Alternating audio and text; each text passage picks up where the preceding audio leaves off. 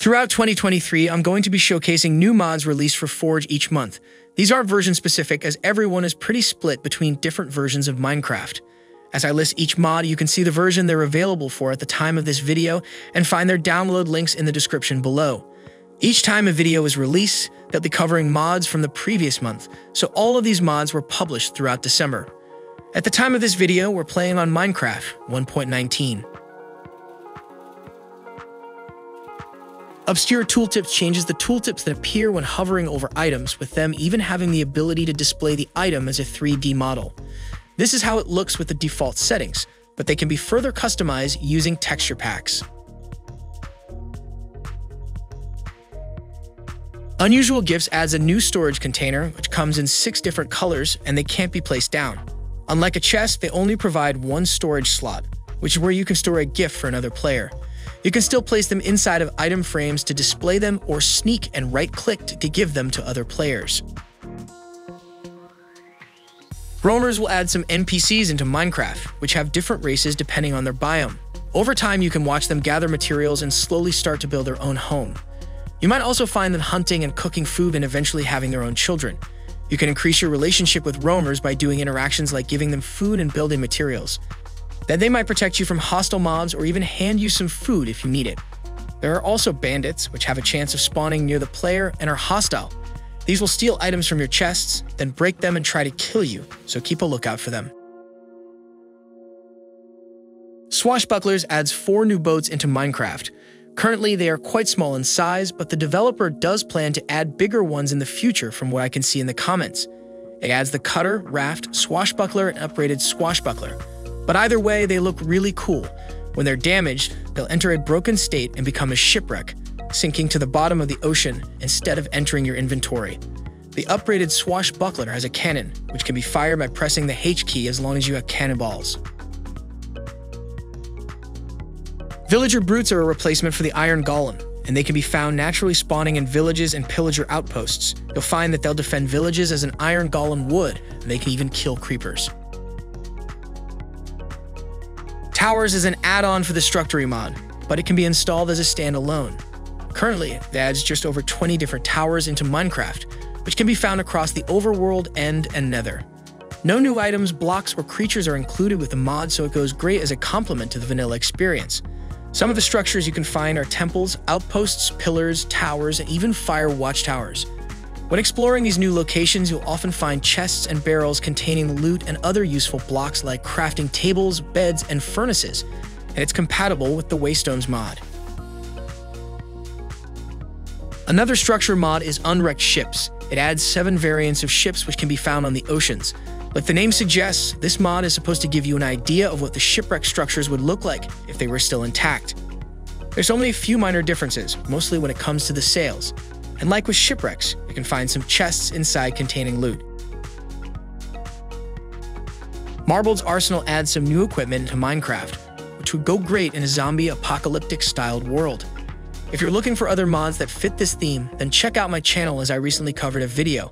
But included with this mod is riot gear, hazmat suits and weapons such as baseball bats, crowbars, and fire axes. Some new decorative blocks are even included, like medicine cabinets and concrete barriers. This mod is still being updated with new items too.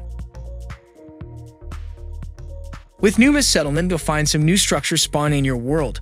These range from small abandoned ruins and statues to larger camps and settlements, which are inhabited by a new creature, the Gnumus. These can spawn as different variants, with them being hunters, workers, and shamans.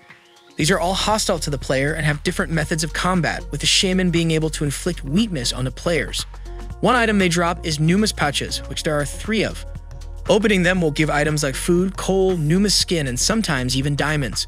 From Gnumus claws, you can create a pickaxe and cutlass, which have very low durability, but come with the fortune and looting effects. Or the lucky hat, which gives luck. But there's more to this mod like the new mouse mobs or the vintage universal tool, which can mine any blocks and even in a tunnel. Another new creature you can find is the wasp, and it's not hostile. They can instead be tamed by feeding them some honeycomb. Then they'll start to follow you on adventures, attack your enemies, and even apply poison to them. But wasps don't have a lot of health either. The Better Weather mod was discontinued after Minecraft 1.16. However, it's now been revived by a new developer for Minecraft 1.19. It includes new weather events like acid rain, blizzards, cloudy skies, and light rain. During acid rain, the grass can be burnt off blocks, while players and mobs might also take damage. And during blizzards, the snow will be so thick and heavy that you'll struggle to see. The Capybara mod, which was originally for Fabric now, has a Forge release too. With it, you can find the capybara spawning in jungles, and they're quite rare to find. They can be tamed with sugarcane, bred with apples, and even made to sit. Flowery Mooblooms is an add-on for the Friends and Foes mod. While the original mod adds the Moobloom, this edition will include a new Moobloom for each type of flowers, such as allium, cornflower, poppy, and more. So in total, expect to find around 16 different variants which can be sheared for their flowers. This mod is going to allow you to combine items in order to upgrade them. There currently being over 40 different combinations. This can be done in the smithing table, and you can see every available auction by pressing the hammer icon, as long as you have Just Enough Items installed. These provide lots of effects like a diamond helmet having water breathing, or a compass being upgraded with a nether star turning it into a recovery compass, allowing you to quickly teleport to your death point. Applying an Eye of Ender to a totem of Undying will prevent you from dying in the void. Or pickaxes can be given the Dwarven upgrade, giving a huge breaking speed increase on stone-type blocks. And there are many more interesting upgrades available. Animalistic adds some new creatures into Minecraft, which will need to be manually summoned using a new block called the Generator, and there are six available right now.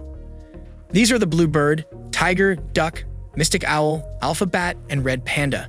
The modeling, texturing, and animations on these creatures are great, too, with them feeling a bit like they're from Disney. Some of them have unique abilities like how the Mystic Owl can jump really high, whereas the blue bird can actually be used to fly through your world, making it great to explore with. Ducks have an extra inventory and they'll follow you around, leaving some storage while on the move. It's possible that more animals will come in future updates too. Spelunking Bags adds three loot bags into the game, which can all be obtained while mining. These contain relics, with most of them helping while underground. There are 12 relics and includes the Sword of the Depths, which displays your height level on the hotbar, which might help when it comes to finding diamonds. The climbing axe will allow you to grapple and climb up walls to aid in traversing the newer cave generation. The broken clock is a bit like the Totem of Undying, however, when triggers, you'll have 15 seconds of almost invincibility before dying, which might be useful for moving items to a safe place quickly.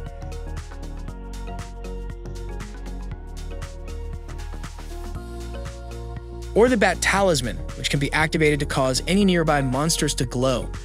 And there are quite a few more interesting items.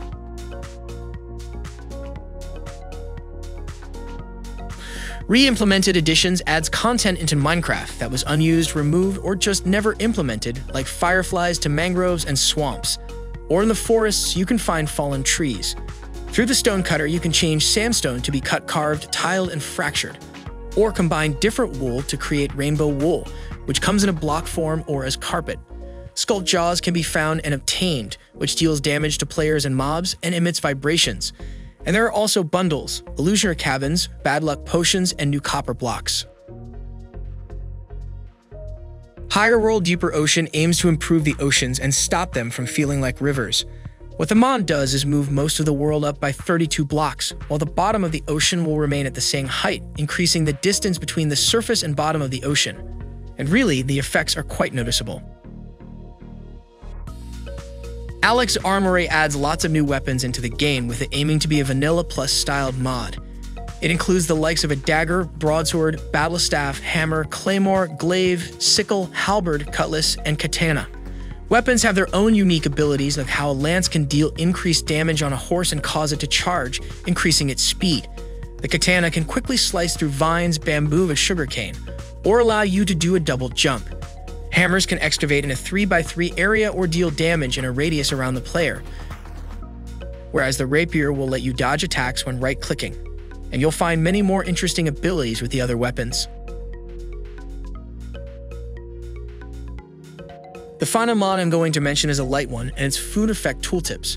When hovering over foods, you'll be able to see the exact effects they grant, if any, and it also works as a client-side mod.